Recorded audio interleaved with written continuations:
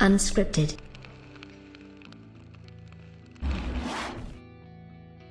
You know, they say what a difference a year makes, or a day, or an hour. Uh, I think whatever it is, Microsoft is clearly doing something right and clearly taking advantage of a lot of the negativity surrounding the PlayStation brand currently at this time. Does this mean it's always going to be that way, or that PlayStation is irreparably broken?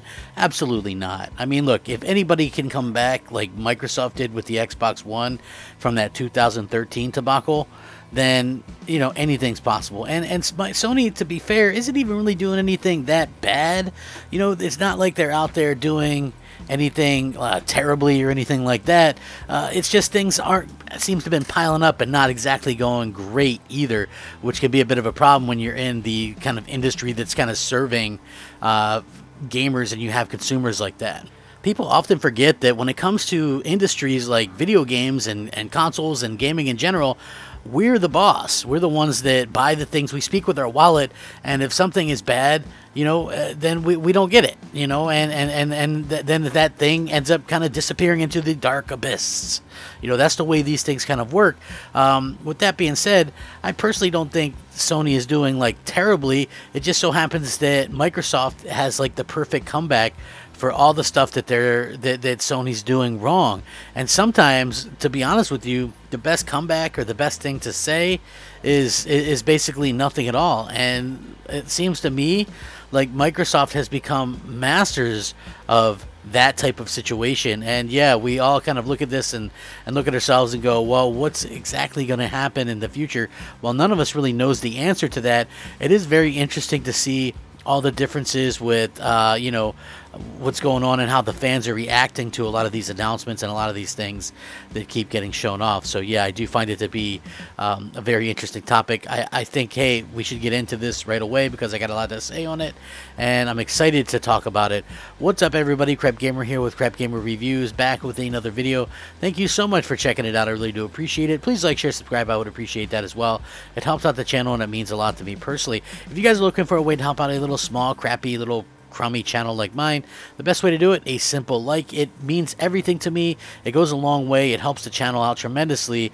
And, you know, it's free for you guys to do it. That's all I ask for. I mean, even if just 2,000 people watch my video, if all 2,000 of those people liked it, uh, I think that would help out a lot more than you guys realize. So don't be afraid to hit the like button. I would appreciate. Shout out to all the old subscribers, new subscribers, and everybody in between. You guys are fantastic. Thank you so much for consistently rocking out with me. So again, Sony mired in a little bit of trouble, okay? So we get this scathing report, and I've done some videos on it, I understand, but it's still going to be a hot topic for a little while to come.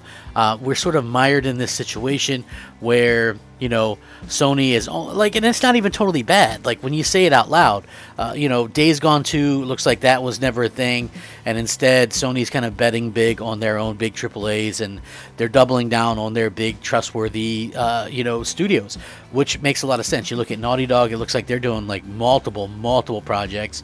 Uh, you look at Sony Santa Monica, they're doing God of War Ragnarok as well as a new AAA IP. You have Guerrilla Games doing uh, a couple things, obviously Horizon Forbidden West as well as a new game as well. There's rumors that it could be a SOCOM or Killzone online game or something along those lines. But yeah, uh, you have Insomniac Games doing probably the, the full fledged sequel to 2018 Spider-Man, while also doing Ratchet and Clank and who knows what else.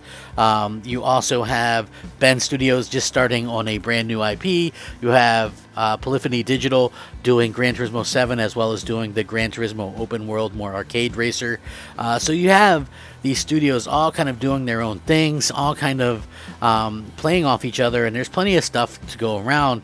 Uh, so, like, I get that it sounds bad when you hear it said the way that a lot of people kind of spun it, but at the end of the day, as long as Sony keeps putting out great games, I think some of the other stuff don't matter. Taking surefire bets is good business. I mean, if you're running a business and you're making record profits, you probably want to continue doing what's doing that, right? So I think obviously putting out those big AAA bangers is exactly what's doing that for for uh, Sony, and they're going to continue to kind of double down on that. It looks like they love The Last of Us and Uncharted. That's coming back. The Last of Us is getting a TV show. Uncharted is getting a movie. Of course, they're going to you know ride these things out. It is a little bit of a stark contrast to what we're used to because we're more used to Microsoft sort of milking their franchises and turning them into all these different things um, and stuff like that. So yeah, I, I, do find that to be very interesting as well. Uh, for me personally, I find it to be uh, you know, just a little bit hypocritical as well because a lot of the like uh, the the Xbox fans kind of uh, you know say one thing and then now they're calling it out on the PlayStation side. Yet nobody much was saying much when it was just Gears, Halo, and Forza, and in fact. The last few releases have all just been Forza's, Gears, and Halos in terms of their AAA. So, yeah, that hasn't really changed much. But you might go, so what's Microsoft doing to take advantage of this? How is Microsoft out there absolutely taking advantage of all this news, all this information? Well, I'm telling you how. Their their response to this is nothing, and that's the best response you could ever have, because at the end of the day, that's going to be what people hear. I can remember definitely on um, back on the early days of the Xbox One, they wouldn't shut up, right? Microsoft wouldn't shut up. You had Albert Penello in uh, NeoGAF, and you had all their, you know, Mark Whitten in NeoGAF, and all these people from Microsoft uh, talking and talking and talking, and they just made themselves sound worse and worse and worse and worse, right? Sometimes you just got to take a step back and shut up. And that's what Microsoft is doing right now. They don't have to have a response, right? They're doing what a lot of people are already saying is the great things. They're putting, you know, they're letting their their, their what they're doing speak for them. Putting Outriders and MLB The Show in Game Pass. You have all these positive rumors like uh, Ubisoft Plus joining Game Pass later this year, or Battlefield uh, going day and date into Game Pass later this year. You know, uh, Microsoft acquiring more studios, Microsoft getting Bethesda, putting all those old games in Game Pass. Even though they're old games and we all know that, it's still going to sound good to somebody maybe on the lesser know or on the outside. So everything that Microsoft is doing, you have Phil Spencer out there looking forward to another great E3. you know, doing a traditional type, uh, uh, even though it's a digital E3, doing the E3. Now you look at Sony, no E3 once again. And Sony's been incredibly quiet. So everything that Sony's doing, Microsoft is kind of doing the opposite, but you know, in an understated sort of way. And I think that's really going to kind of pay off in a big time manner for Microsoft because you see a lot of people talk about it now. After all this bad Xbox or uh, after all this bad PlayStation news and you know all this good Xbox stuff, do I expect, uh, you know, do I expect uh, fortunes to turn? Suddenly, Xbox is going to make 25 billion uh, this year, and they're going to sell and win NPDs. No, I don't expect any of that to happen because the people that talk about this stuff are like you and me. The people that visit this, this, and and the other hardcore like gaming channels. We're not the majority. We're not the ones that you know. Um, kind of set the pace. It's like, you know, we're the minority. We're the ones that kind of have an echo chamber of ourselves no matter where we're at, whether we're on social media or whatever, if we're a PlayStation fan, you're going to have other PlayStation fans with you. If you're an Xbox fan, you're going to have other Xbox fans with you. And so it's just going to go back and kind of pump you up a little bit and things like that to get you excited, um, you know, and, and to talk about this stuff. And then at the end of the day, that stuff isn't really gonna gonna change that much if you think about it, right? So, um, you know, if you like PlayStation and you're on Twitter, you're gonna be around a bunch of other people that like PlayStation for the most part. And if you're an Xbox dude, you probably blocked anybody that uh, was a PlayStation fan because that's what goes on on Twitter quite a bit. So, um, but for me personally, I think what Microsoft is doing right now is absolutely brilliant. They don't have to do anything flashy or splashy or anything like that. Just stay the course. Keep having your these announcements come out. They're good announcements, the good rumors and stuff like that, and let PlayStation stay quiet. And and it makes them look worse and worse. Uh, again, a quick game announcement. Drop some gameplay footage of God of War Ragnarok. Drop some gameplay footage of, you know, Horizon Forbidden West. Give us a, a, a date a release date for that. Show us something.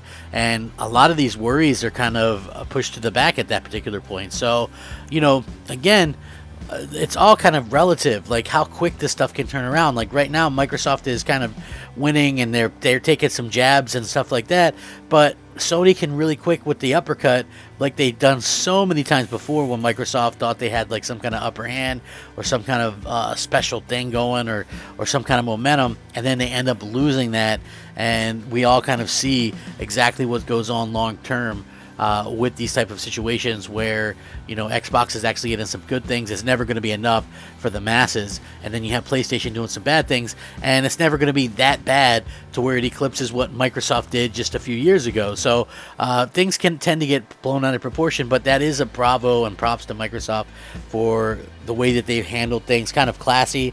They didn't have to say anything you know, just people go, oh, well, Microsoft seems to be doing everything right. Maybe I'll get an Xbox. You know, again, I don't think we're going to see anything change long term, but it's very interesting nonetheless. And I would love to hear your guys' thoughts and opinions on this down below, or Twitter, or Xbox Live, or PSN, wherever. Thanks for watching. Rack 'em up. Crap Gamer out.